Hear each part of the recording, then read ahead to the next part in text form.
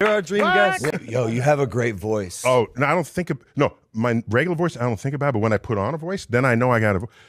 Welcome to the universe. See, I could do that. Wow. That's like the planetarium. That's the voice coming out of the sky. It can't be pipsqueak, high squeaky. Yeah. It doesn't work. Yeah. Like sky voices have to be. Sky, Well, Sky- like like a like a Morgan Freeman Sky level. voices is amazing. No, Yeah. man, you you got a great voiceover voice. You just all around great, Neil. Like, I, bro, I'll just say it.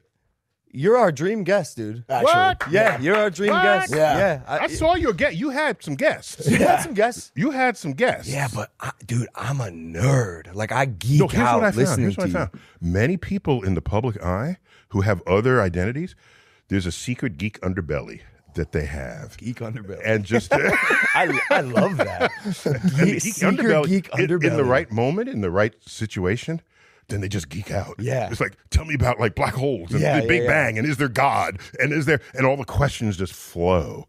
And as an educator, that is joy.